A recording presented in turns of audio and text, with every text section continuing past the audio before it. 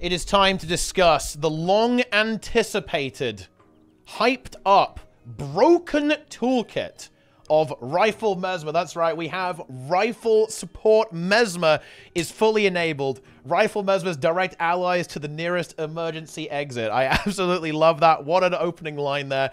Let's go ahead and get into this. Some pretty exciting stuff here. A bit secretive. I will spoil that. This is quite a secretive one. So, you know, prepare to see the real deal on the stream. But we have got some pretty cool stuff here. So, here we go. So, Rifle is a long-range support weapon packed with healing and tools to help your allies. We have the video playing here. We've got all the pink effects the rather dapper Mesmer just going crazy uh, all over the place here. And some of these abilities look pretty cool. Uh, we actually have a pretty large AoE, maybe a Blast Finisher too, and that will be relevant for supports. Bear in mind, Relic of Karakosa, so you get an AoE heal on Blast Finisher is very, very good as well. And notice that this is a ranged support weapon, so we know that Chronomancer is very likely going to be a powerful healer in the next balance patch. But one of the weaknesses that it actually has is, one, its burst healing might not be quite as good, as other healers. It doesn't have barrier access, um, which, you know, a lot of uh, really powerful healers are going to be having over the uh, next couple of patches, and it doesn't have range support. And guess what? Rifle is going to be able to help out with all of those things. We have long-ranged healing, we have barrier on this weapon, and we also have some really fun utility in addition to some extra boon access as well. And that range component is really going to help out Chronomancer when it has to go and do mechanics, because a lot of uh, the current iteration and even you know the, the upcoming iteration of Heal Chronomancer, a lot of your support is going to be in a relatively small radius around you with limited applicability at a very long range. So Rifle does help to flesh that out a little bit. Now, you could argue that maybe some classes should have certain weaknesses, uh, and like, oh yeah, maybe this healer is really good close range, but not at long range, whereas this one is really good at long range, but has another weakness. I'd actually be kind of inclined to agree with that, funnily enough. However, judging by these weapon proficiencies, and definitely by, by this one, it appears that arena is not going in that direction. Um, there's almost a little bit of a uh, uh, some insight into the philosophy that arena has, especially when it comes to supports. It looks like the direction is going to be kind of giving very high access to pretty much everything um, of every bit of utility. So adding barrier to more healers, adding uh, ranged healing to more healers, adding better boon access to healers, um, adding uh, stuff like resistance and you know these kind of more niche utility boons, or having some access to a lot of these healers, and so on. So let's go ahead and get into it. We've already seen this very exciting video. Look at all the pink. Didn't see the Phantasm skill here, by the way, and this will be a bit of a theme. We get a little bit of a tease, but nothing too crazy here. The rifle is a versatile weapon. As an example of its flexibility, skill 3, Inspiring Imagery, allows the Mesmer to throw out a beacon for their allies to rally to that will burst after a delay and grant them might and fury. Great. Very important boons there. And this is relevant, by the way. You do have Might and Fury on Chronomancer already by using your shatter skills and of course uh, through staff as well. A bit weird on staff but it's you know whatever. Uh, this will be much more consistent and this is confirmed by the way to be this ability. Let's see if we can um, see it here this kind of orb that's there. Let's say, yeah, uh, hang on. Yeah, this, this. So it's actually a large radius ability. So the boon application here is going to be very solid, and that's ranged, of course, by the way. You can throw that out. So that's also really, really good. When the beacon is detonated early, it will heal instead of granting boons, while also damaging enemies. So again, you have this double fasted skill. You can use it uh, as a burst heal, or you can use it for your boon application. There's a bit of DPS there as well. And there's going to be the usual stuff. There's probably confusion here. There's going to be uh, probably just damage on this weapon, so maybe it has some kind of applications as a hybrid. This is very lean, very much lean towards support or a utility weapon though, um, in terms of like the skill set here. So yeah, pretty cool skill. And here is the big one. Uh, the weapon gets even more exciting when we look at skill five, Singularity Shot. You shoot a bullet at a target location, again, probably a large radius, similar to that beacon, uh, that grants barrier and resistance to nearby allies. Really nice skill. A singularity will linger at the impact, and it can be collapsed with dimensional aperture. Aperture science, anyone, guys? Here, here we go. The reactivation of skill 5.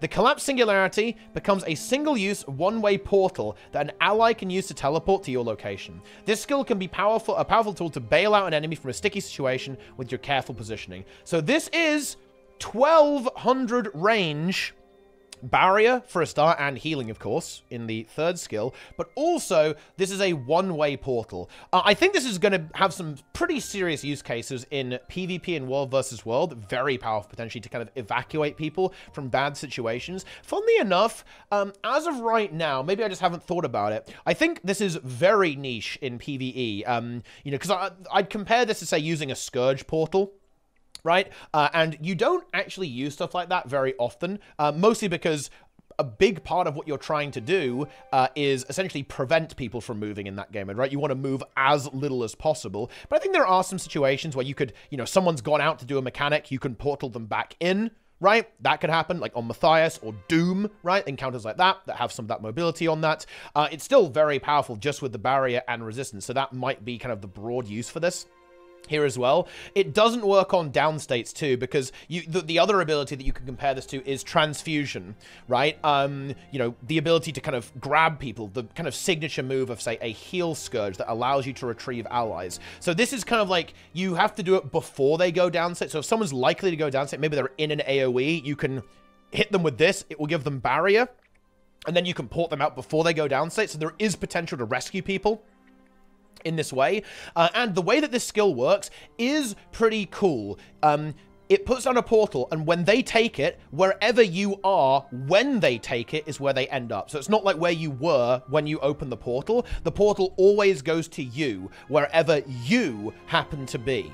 Uh, so that means that, you know, if, it, you know, you're not going to, like, troll someone by teleporting them into an AoE unless you keep standing it for whatever reason. So it is a highly usable skill that definitely has some um, high potential power uh, in a lot of situations. I think, well, maybe not a lot of situations, but some, some niche situations. It's, it's a fun skill, a fun skill. We'll have to see how it actually works out. And again, the numbers here are going to be important. Like, if that barrier is really strong, then, oh man, it's going to be disgusting, right? Like, because Heal Chrono having access to loads of good healing, really good boon access, some of the best boon access in the game, in fact, uh, and of course, all the usual Mesmer goodness. Again, you're going to have Chronomancer on this, so you can duplicate a lot of these skills. Always remember that, right? You can double up on a lot of these um, when you're in Continuum Shift. It's going to be really, really interesting to see how this one actually plays out there as well. And definitely a fun skill, definitely a very out there skill. Uh, for sure, if you end up playing this, if there are builds that can use this in PvP, uh, this I can imagine this being an absolute menace, right? Being able to evacuate a player 1200 range or even more potentially,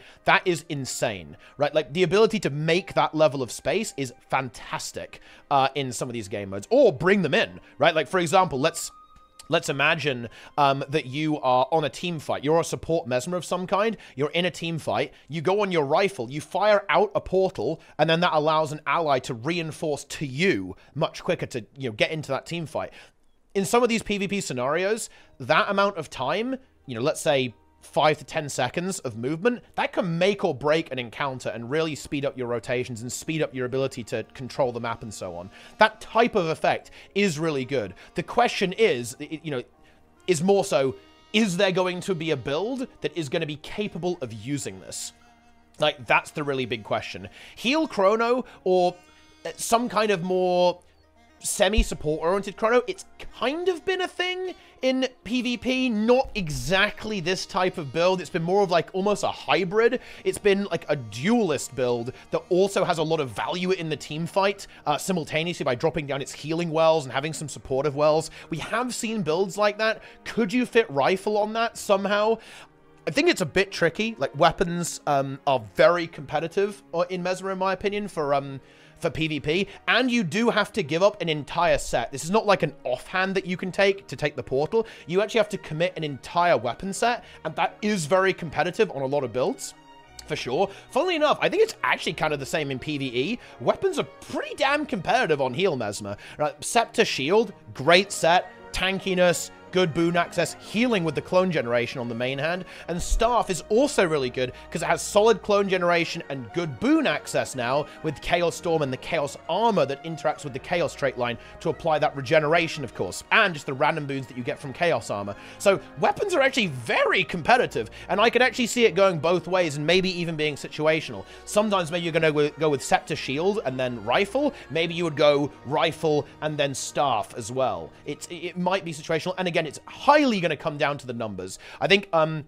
it's almost too early to predict now. If the chaos numbers are insane, so like your regen uptime is super free and your prot uptime is super free and your might uptime is super free because of rifle, then I could see you going, oh, well, maybe I don't really need to have, um, you know, I, I don't really need to have uh, any of those weapons really. And, you know, and like you, you, the weapon set is free, right? You can take whatever you want, right? But if that's weaker, then you might go, well, if I need might, then I might want to go ahead and have shield, right? Because shield's got that extra might generation, right? It really depends pretty situational. Pretty damn situational. The thing about this uh, portal thing here as well, and this will probably um, hamper its usability in pug groups, is that this is kind of very reliant on communication. Because, don't worry, random mesmers aren't going to be able to like randomly port you to them like at will. You have to take the portal, right? It opens a little portal and then you have to take it. So honestly, in a lot of situations, I feel like this is going to be a, an ability that you're going to go, oh, guys, I'm going to heal Chrono. Let's go. I'm going to rescue that guy. Yeah.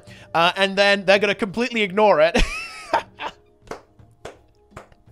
they're going to completely ignore it. So maybe you have to ping that you're using the skill if you're in a pug, but being on voice, that's where a skill like this is really going to come into its own, of course, because then you can go, all right, I'm going to port you, right? Or you can even plan ahead. You go like, oh yeah, I've got the bomb. Uh, let's say on Dhuum, right? Someone's running out with a bomb. You can say, I'm going to port you back. There's going to be a portal for you uh, to come back. And that's where this ability can really shine, giving you that DPS uptime, giving you that safety of getting back to the group uh, just barely in time, uh, and giving you some flexibility on how you can approach various mechanics in PvE. Uh, could definitely be interesting. Cooldown here is relevant too. Like, it, this quite possibly will have a short cooldown. Um, weapon skills typically don't go super long, um, so I'm thinking this could be a 30 second cooldown.